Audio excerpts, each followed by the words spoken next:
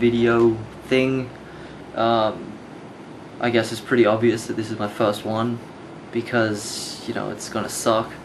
Um, this is actually a lot harder than I thought it would be because I'm not very interesting. Um, I'm Ryan, I'm 16, I play guitar.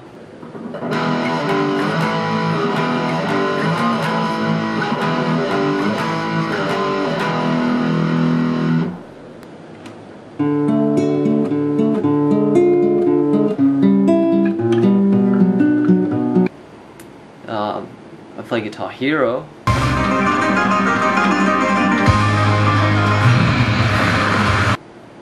And that's pretty much it.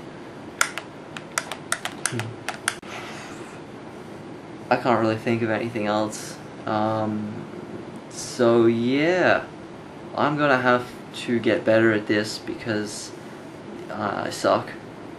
And hopefully I can figure out something to talk about that's even remotely interesting.